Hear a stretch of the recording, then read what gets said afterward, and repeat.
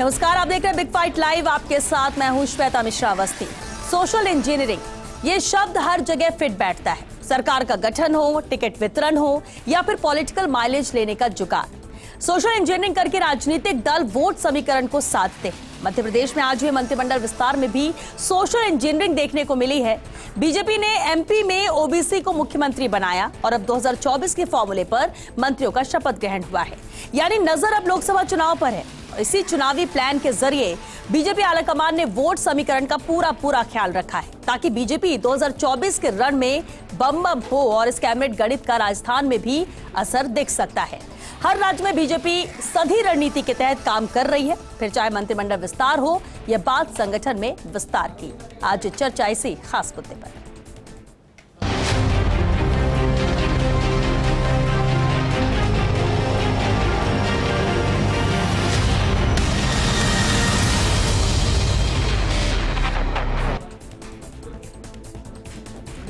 और चलिए इस खास मुद्दे पर चर्चा के लिए खास मेहमान हमारे साथ जुड़ चुके हैं। सबसे पहले उनसे रूबरू करा दे आपको। हमारे साथ है बीजेपी प्रवक्ता मुकेश पारिक जी, कांग्रेस प्रवक्ता भरत मेघवाल जी और साथ ही राजनीतिक विश्लेषक एसपी मित्तल जी भी चर्चा में शामिल हुए। बहुत स्वागत है आप सभी का बिग फाइट लाइव में। मुकेश पारिक जी, आपसे ही शुरुआत करते हैं।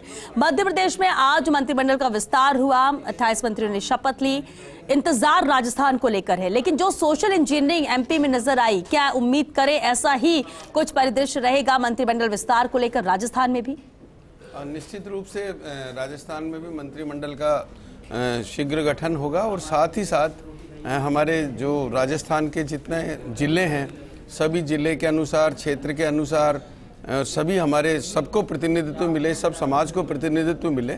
इसी प्रकार से मंत्रिमंडल का गठन होगा।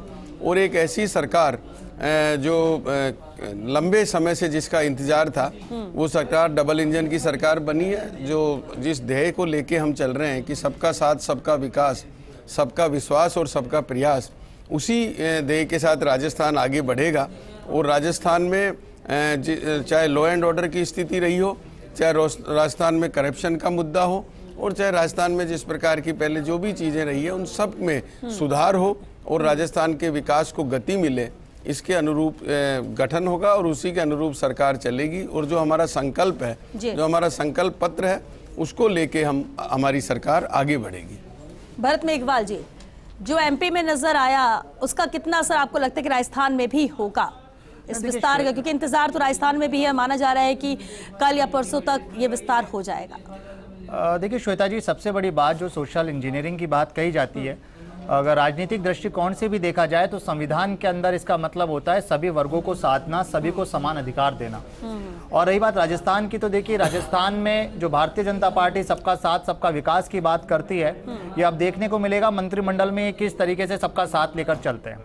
दलितों के उत्थान की बात भारतीय जनता पार्टी करती है क्या दलितों में एस सी में कैबिनेट मंत्री बनेंगे क्योंकि कांग्रेस ने देखिए जब हम्म। मंत्रिमंडल का विस्तार हुआ था पाँच के आसपास लगभग कैबिनेट मंत्री बनाए हम्म। महिलाओं की बात जहाँ भारतीय जनता पार्टी बार बार करती है तो क्या महिलाओं को कांग्रेस ने जितना प्रतिनिधित्व दिया उतना प्रतिनिधित्व देंगे हम्म। चाहे शकुंतला रावत जी रही ममता भूपेश जी रही कृष्णा पुनिया जी हर एक को महिलाओं को हमने प्रतिनिधित्व दिया और अभी बात सबके साथ सबके विकास की की जाती है तो श्वेता जी देखिए राजस्थान की सात करोड़ की जनता ने अपना मत भारतीय जनता पार्टी को दिया। और जब आप चुनाव में चुनकर आते हैं तो सभी वर्ग के आप नेता बन जाते हैं सभी वर्ग को साधने का काम आपको करना पड़ता है। लेकिन देखिए माइनॉरिटी वर्ग को इन्होंने एक टिकट तक नहीं दिया माइनॉरिटी वर्ग का एक विधायक तक नहीं है। तो किस तरीके से आप उस माइनॉरिटी वर्ग को साधेंगे वो भी देखने की बात होती है हम्म। और जिस तरीके से संसद में जातिगत जनगणना के आधार पर ओबीसी की बात की जाती है तो क्या राजस्थान में भी ओबीसी को प्रतिनिधित्व मिलेगा हम्म। जाट समुदाय की बात अगर हम करें तो पहले जो सतीश पूनिया जी थे उनको प्रदेश अध्यक्ष पद से हटाया गया हम्म। संभावनाएँ थी कि अगर वो चुनाव जीत कर आते हैं तो डिप्टी सीएम की या सीएम की दावेदारी में थे लेकिन उनकी भी अवहेलना की गई किरोड़ी लाल मीणा जी ने पाँच साल संघर्ष किया मीणा समुदाय को एक उम्मीद थी कि उनको डिप्टी सीएम का पद दिया जाएगा लेकिन वहाँ पे भी उनकी अवहेलना की गई। तो इस तरीके से देखिए देखना पड़ेगा अवहेलना आपको क्यों लगता है? क्योंकि अगर ऐसे एक एक कास्ट को हम देखेंगे और हर कोई चाहेगा कि हम सीएम बन जाए तो सीएम तो एक ही बन सकता है। डिप्टी सीएम तो एक दो बन सकते हैं। लेकिन ये ज़रूर है कि जो मंत्रिमंडल हो क्योंकि उसमें स्कोप ज़्यादा होता है पंद्रह से बीस माना जा रहा है राजस्थान में बन सकते हैं। तो ऐसे में क्या उम्मीद नज़र आ रही है और इसका असर क्या होगा? कांग्रेस इसे कैसे पंद्रह प्रतिशत आप मंत्री बना सकते हैं इंक्लूडिंग सीएम डिप्टी सीएम तो हम्म। तीस के आसपास बन सकते हैं। हैं। अब देखते हैं पहले मंत्रिमंडल में ये किस तरह से देते हैं और सबसे बड़ी बात जो श्वेता जी देखने को मिलेगी कि पोर्टफोलियो का डिस्ट्रीब्यूशन किस तरीके से होता है। आप अगर किसी वर्ग को मंत्री बनाते हैं तो उसके साथ उस पोर्टफोलियो में उनको क्या ज़िम्मेदारी देते हैं? वो भी देखने की बात होगी। मुझे नहीं लगता कि जिस तरीके से भारतीय जनता पार्टी बातें कर रही है ये सिर्फ़ और सिर्फ़ जिस तरीके से पर्ची सिस्टम हमने मुख्यमंत्री जी के चयन में देखा उसी तरीके से यहाँ मंत्रिमंडल में ना हो इंडिपेंडेंस बनी रहे। स्वतंत्रता बनी रहे मंत्रियों की और जनता के जो काम पिछले 22 दिन से रुके हुए हैं। वो जल्द से जल्द पूरे हुए तीन तारीख को परिणाम आने के बाद 15 दिसंबर को शपथ ली जाती है और आज तक आप देखिए मंत्रिमंडल का गठन नहीं हुआ कैबिनेट की बैठक नहीं हुई पेट्रोल के दाम बिजली के दाम न जाने कितने दामों के नाम पर भारतीय जनता पार्टी ने जो बिल्कुल और विपक्ष को भी इंतज़ार है कि अब तक मंत्रिमंडल विस्तार हुआ क्यों नहीं इसलिए बार बार सवाल भी उठ। रहे हैं एसपी मित्तल जी हमारे साथ राजनीतिक विश्लेषक। एसपी मित्तल जी मध्य प्रदेश में जो मंत्रिमंडल का गठन हुआ जो विस्तार हुआ है राजस्थान में उसका कितना असर आपको लगता है होगा? ये कैबिनेट गणित क्या रहेगी राजस्थान में? देखिए श्वेता मेरा ये मानना है कि जो ओबीसी का मुद्दा कांग्रेस ने उठाया था वो शायद भारतीय जनता पार्टी इस पर क्या नाम से अमल कर रही है। हम आज मध्य प्रदेश का देखें तो मध्य प्रदेश में 28 मंत्रियों को शपथ दिलाई गई।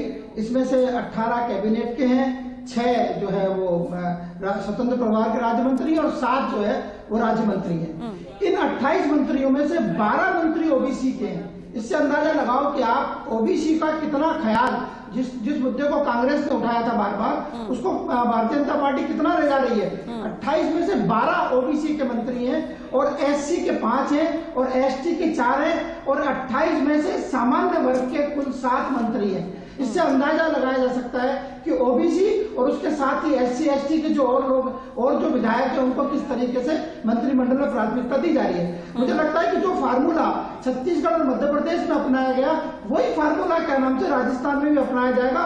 और मैं एक बात और यह राजस्थान के संदर्भ में बताना चाहता हूँ कि आज जो क्या नाम से अट्ठाईस मंत्रियों ने शपथ ली, उसमें श्वेता सत्रह मंत्री सत्रह जो मंत्री हैं वो पहली बार विधायक बने तो हम ये कह सकते हैं कि राजस्थान के अंदर जो पहली बार विधायक बने उनकी संभावना मुझे ज़्यादा लगती है कि वो मंत्री बनेंगे।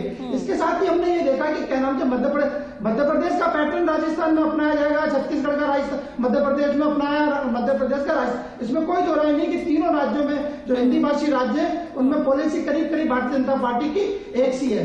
मेरा ऐसा मानना है कि जिस तरीके से सांसदों को मध्य प्रदेश में भी उतारा गया, राजस्थान में भी उतारा गया तो मध्य प्रदेश में आप देखिए जो प्रहलाद पटेल केंद्रीय मंत्री थे उनको क्या नाम से आज मंत्री पद की शपथ दिलाई है? जो कैलाश विजय वर्गीय जो राष्ट्रीय उपाध्यक्ष थे उनको भी आज मंत्री पद की शपथ दिलाई गई है। एक और सांसद है जिनको मंत्री पद की शपथ दिलाई गई। स्वाभाविक है कि राजस्थान में हम इसको इस संदर्भ में देखें तो किरोड़ी मीणा जी हैं राज्यवर्धन सिंह राठौड़ है बाबा बालकनाथ है इनकी भी संभावना बनती है। यानी ये जो मंत्रिमंडल का गठन होगा जिस तरह मध्य प्रदेश में हुआ है वैसा मुझे लगता है राजस्थान में भी होगा युवाओं का और अनुभवी लोगों का मिला जुला मंत्रिमंडल होगा। बिल्कुल। लेकिन मुकेश पारिक जी, ये तो अहम है और जिस तरह से मध्य प्रदेश में भी देखने को मिला है, नए विधायक, नए चेहरे जिन्हें मौका मंत्रिमंडल में सीधे तौर पर देना, ये भी बड़ी बात होगी। क्योंकि प्रदेश में भी यही हुआ है, जब प्रदेश का मुखिया चुना गया, वो भी पहली बार विधायक बने, भजनलाल शर्मा, इसके बाद उनको मुख्यमंत्री के पद तक पहुँचाया गया और अब वो अपनी ज़िम्मेदारी का निर्वहन भी कर रहे हैं, जो तस्वीरें भी रोज़ाना नज़र आती है। मुकेश जी, ऐसे में कितना अहम रहेगा कि युवाओं के से बात ना करके वो युवा, जो पहली बार विधायक बने, उन्हें मंत्रिमंडल में ज़्यादा मौका देना? देखिए, मंत्रिमंडल में कौन कौन बनेगा, ये तो मंत्रिमंडल का गठन होने के पश्चात ही मालूम चलेगा। लेकिन ये बिल्कुल तय है कि युवा भी रहेंगे और जिनके अनुभव है अनुभवी भी रहेंगे और एक सरकार गुड गवर्नेंस वाली सरकार रहे वो भी चलेगा। साथ ही हमारे कांग्रेस के साथी ने जो सवाल उठाया उन्होंने कहा नज़रअंदाज कईयों के लिए कहा इन्होंने नज़रअंदाज किया गया। मुझे आश्चर्य होता है जब कांग्रेस के साथी ऐसी बात कहते हैं आपने सचिन पायलट को कितना नज़रअंदाज किया? राजस्थान की जनता से छुपा हुआ नहीं है। आपने सचिन पायलट का क्या हाल किया? आपने नकारा और ना जाने उसको क्या क्या आपने लांछन लगाए? वो किसी से छुपा हुआ नहीं है। लेकिन आज ये भारतीय जनता पार्टी के लिए कह देना। आपने कहा कि आज पंद्रह दिन हो गए इनका ये नहीं हुआ। अरे हमको तो मंत्रिमंडल का गठन करना है। हमारे मुख्यमंत्री बन गए दो उप मुख्यमंत्री बन गए। आपको तो खाली एक नेता प्रतिपक्ष बनाना है आप उसको भी नहीं बना पाए।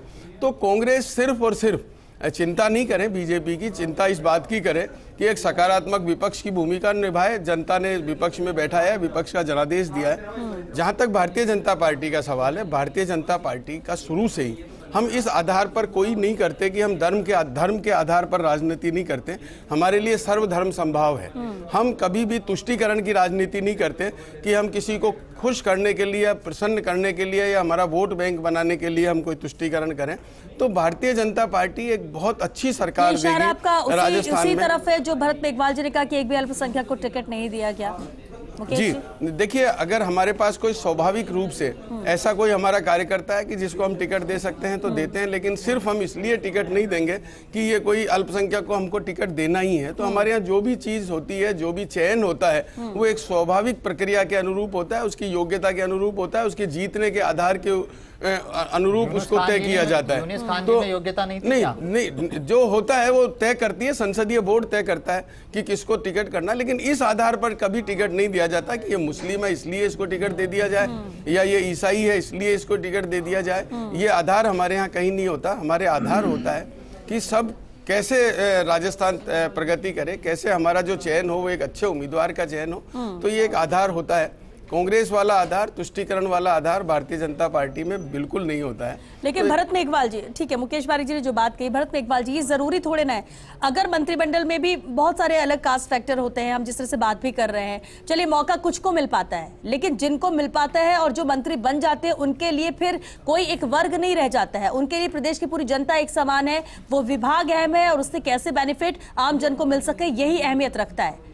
तो उसके बाद तो जिम्मेदारियाँ बदल जाती है। ये आपको लगता है कि ये भी बहुत ज़्यादा महत्व रखेगा कि किस कास्ट को कितना मौका दिया गया किससे कितने मंत्री बने देखिए राजस्थान की अगर पृष्ठभूमि की बात की जाए तो श्वेता जी ज़ाहिर सी बात है राजनीति के अंदर कई समीकरणों को साधना पड़ता है हम्म। जब आप किसी एक वर्ग विशेष को आ, कोई प्रतिनिधित्व देते हैं तो उसके साथ उसका संपूर्ण समाज आर्थिक रूप से शैक्षणिक रूप से सामाजिक रूप से उन्नति करता है हम्म। और इसीलिए देखा जाता है कि वर्ग विशेष में हम जब भी टिकटों का भी बंटवारा होता है तो सोशल इंजीनियरिंग करी जाती है अभी जिस हिसाब से आपने बताया कि क्या पोर्टफोलियो दिया जाएगा किस हम्म। तरह से ज़िम्मेदारी दी जाएगी निश्चित तौर पर वो बात तो ज़ाहिर सी बात है कि जब इनको जो पोर्टफोलियो देने के बाद काम होगा उस काम को देखा जाएगा अब ये हम्म। इनके संगठन का और इनके सरकार का मामला है कि ये मंत्रिमंडल में किसको लेते हैं किसको नहीं लेते लेकिन बात ये आती है कि आज ये सत्ता के अंदर है विपक्ष के अंदर नहीं है पिछले हम्म। बाईस दिन से राजस्थान की जनता टकटकी लगाए बैठी है कि जो योजनाएँ माननीय पूर्व मुख्यमंत्री अशोक गहलोत जी ने चलाई थी चाहे वो हम्म। चिरंजीवी हो चाहे वो अन्नपूर्णा योजनाएँ हैं पेंशन है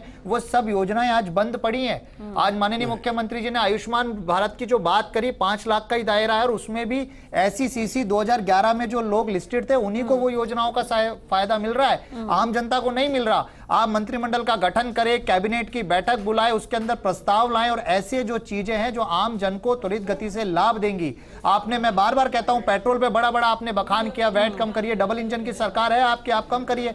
साढ़े सात हज़ार करोड़ अभी आपको प्रथम किस्त के मिल गए, केंद्र सरकार से, उसको आप लगाइए ना। क्यों आप लोगों को रोक कर बैठे? मंत्रिमंडल में आप जिसका गठन करेंगे चीज़ें स्वाभाविक सी बात है, है लेकिन जातिगत भरत जी की मंत्रिमंडल विस्तार हो जाए एक बार ये चीज़ स्ट्रीमलाइन हो जाए और उसके बाद वो फैसलों पर आए उन वादों पर आए जो किया गया है जनता से और राहत की जो बात की जा रही है लेकिन विपक्ष के नाते विपक्ष में होने के नाते आप लोग की भी भूमिका इसी में अहम हो जाएगी कि आप कितनी पुरजोर तरीके से इन मुद्दों को उठाते हैं और याद दिलाते हैं सत्ता पक्ष को। हमारे साथ अदिति भी जुड़ चुकी है दिल्ली न्यूज़ एडिटर अदिति नागर उनका रुख कर लेते हैं। अदिति बेहद अहम है। जब अब आज मध्य प्रदेश के मंत्रिमंडल विस्तार हुआ, उसमें ओबीसी हो, सवर्ण हो एस सी हो, पहली बार विधायक बने हो, या अधिकतम उम्र वाले विधायक जिनको मंत्रिमंडल में शामिल किया गया हो, सभी फैक्टर्स पर अगर बात करें, उसका रिफ्लेक्शन कितना होगा राजस्थान पर? क्योंकि कल परसों में माना जा रहा है कि राजस्थान में भी मंत्रिमंडल विस्तार हो जाएगा। और दूसरा अहम, दूसरी अहम बात 2024 के मद्देनजर ये फैसले कितनी अहमियत रखेंगे ताकि वोट परसेंट भी बढ़े और सीट भी बढ़े और बड़ी जीत भी हो, जो लक्ष्य लेकर बीजेपी चल रही है।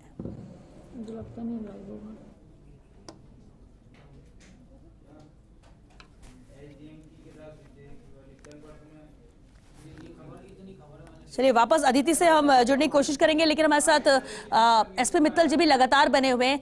एसपी मित्तल जी, अब सवाल ये उठते हैं कि जो भी फैसले आज होंगे, जो भी फैसले इन तीन राज्यों में होंगे, क्योंकि अभी विधानसभा का चुनाव जिसे सेमीफाइनल माना जा रहा है, लोकसभा के पहले, वो बहुत अहमियत रखेंगे 2024 के लिए। ऐसे में मंत्रिमंडल विस्तार जो मध्य प्रदेश में हुआ, जो राजस्थान में होने वाला है, लोकसभा के चुनाव के मद्देनजर इसे कैसे देखा जाए?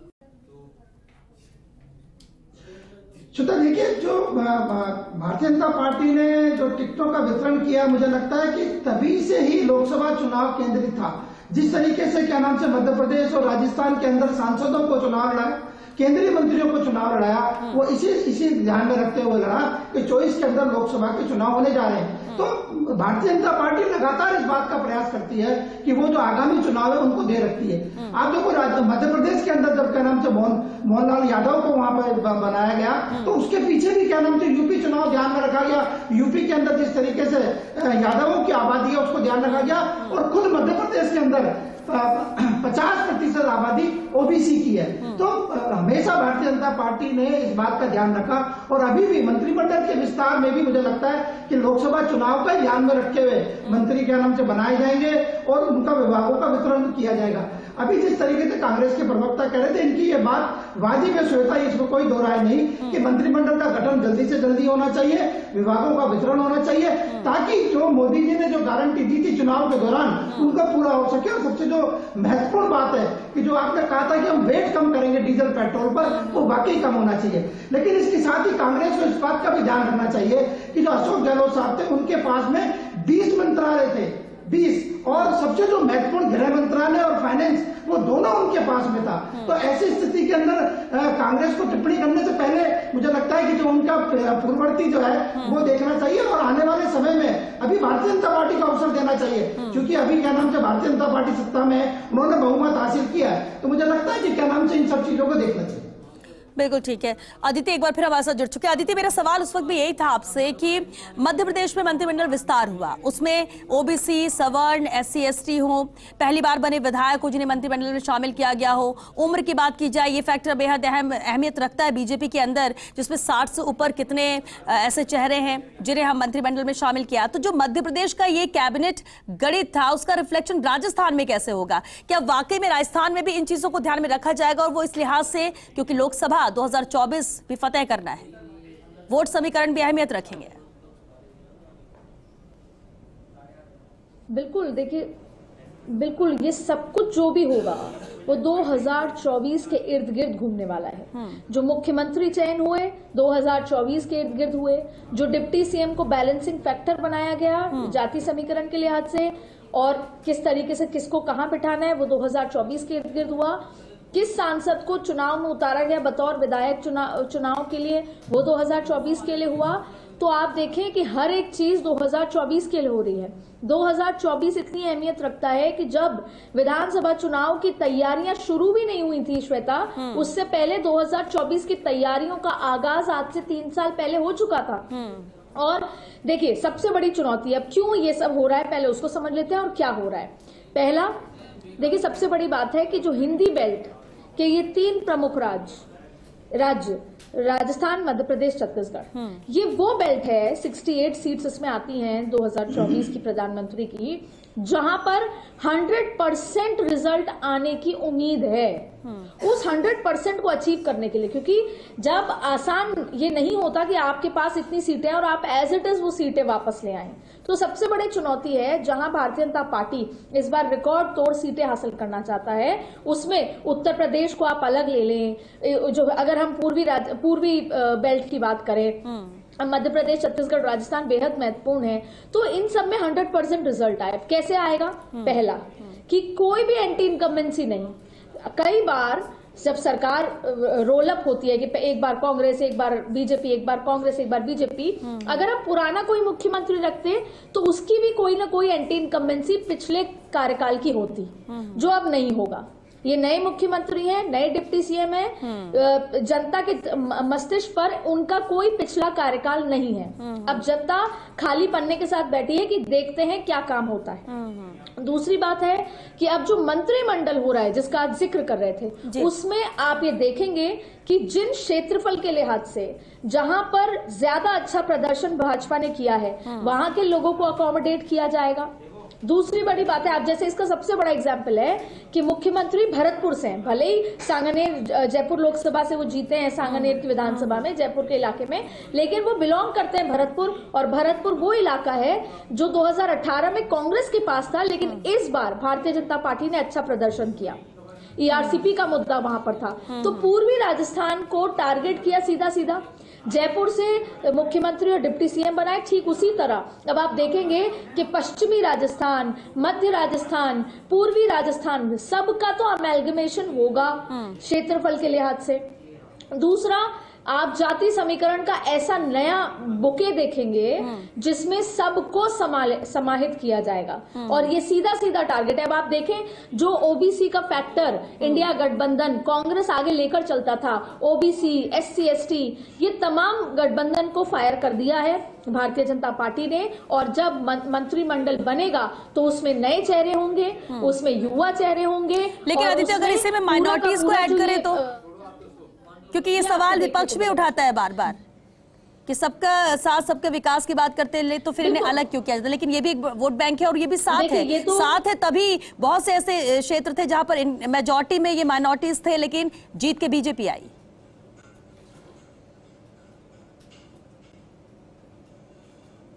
देखिए अगर बड़े बुके के बड़े लिहाज से देखें 2024 के लिहाज से जो भारतीय जनता पार्टी सोच रही है कि उसको 400 पार का टारगेट करना है जो राजीव गांधी के 403 के टारगेट को हरा के बड़ा टारगेट अचीव करना है उसके लिए देखिए अगर हिंदी बेल्ट पूरी भी आ जाती है तो और नंबर आपको साउथ से लाने होंगे आपको नॉर्थ ईस्ट से लाने होंगे आपको पश्चिम बंगाल से लाने होंगे आपको उड़ीसा से लाने होंगे।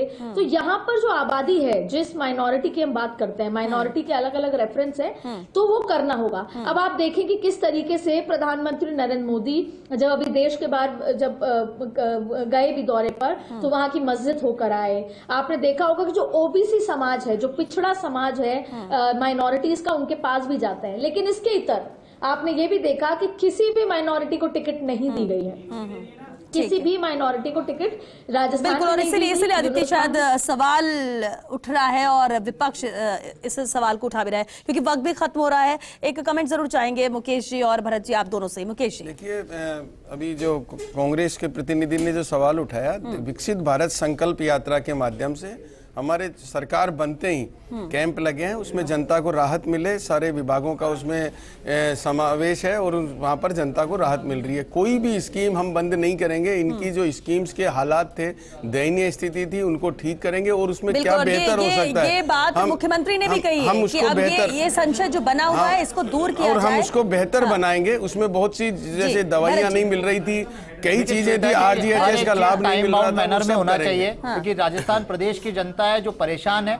आप सिर्फ़ एक समस्या के नाम परेशान तो पाँच साल रही थी, पंद्रह दिन में आप हो है? सत्ता में है अब। आप विपक्ष की भूमिका छोड़िए। और ज़िम्मेदारी के साथ। पाँच साल रही नहीं अच्छी बात है। कि आप वैल्यू कर रहे हैं टाइम की कि होना चाहिए लेकिन अभी कितने दिन हुए हैं? अभी पूरे पाँच साल की सरकार देखते 22 जल्दी शुरू हो। लेकिन पिछली सरकार में भी पिछली सरकार में लोग परेशान हैं, जब होटलों में कैद की सरकार उस वक्त ध्यान नहीं आया कि तीस तीस दिन तक कैसे बैठे हुए हैं? योजनाएँ बंद नहीं हुई थी। ठीक है अभी तो शुरुआत है। अभी तो देखिए ना देखते हैं क्या करते हैं मंत्रिमंडल विस्तार हो फिर देखते हैं कितने तेज़ी से काम करते हैं या नहीं है करते आप है स्वास्थ्य जैसी स्वास्थ्य जैसी योजनाओं को तो चालू रखे। चलिए अच्छी बात है भरत जी। विपक्ष में होने के नाते आप लोग याद दिलाते रहिए क्योंकि हो सकता है सत्ता में आने के बाद अगर ये भूले कोई मुद्दे तो आप लोग हैं याद दिलाने के लिए लेकिन इंतज़ार तो सभी को है खुद है और एक दो दिन में मंत्रिमंडल विस्तार हो जाएगा। इसके बाद कह सकते हैं कि जब टीम बनेगी तो काम भी नज़र आएगा। चलिए, क्योंकि वक्त खत्म हो चुका है, बहुत शुक्रिया आप सभी का इस चर्चा में शामिल होने के लिए। तो देखिए एमपी में कैबिनेट विस्तार हुआ, वहाँ पर जो कैलकुलेशन थी, क्या वही राजस्थान में नज़र आएगी? या राजस्थान में कुछ और सिनेरियो बन सकता है? कैबिनेट का गणित कैसा होगा? कयास बहुत कुछ लगाए जा रहे हैं, लेकिन इतना ज़रूर है कि बैलेंस ये टीम होगी। मौका सबको दिया जाएगा और इसके लिए ज़रूरी नहीं कि सिर्फ़ एक्सपीरियंस चेहरे ही मंत्रिमंडल में आए। नए चेहरे पहली बार बने विधायक को भी मंत्रिमंडल में शामिल किया जा सकता है, क्योंकि काम करना है यहाँ पर। जो वादा किया उसे पूरा करना है, विकास करना है, राजस्थान की तस्वीर बदलनी और ऐसे में एक मज़बूत टीम का होना ज़रूरी है और उसी टीम बनने का इंतज़ार प्रदेश की जनता भी कर रही है, जो मान सकते हैं कि कल या परसों में पूरा भी हो जाएगा। चलिए, सिक्स बिग फाइट लाइव में आज के लिए बस इतना ही। नमस्कार।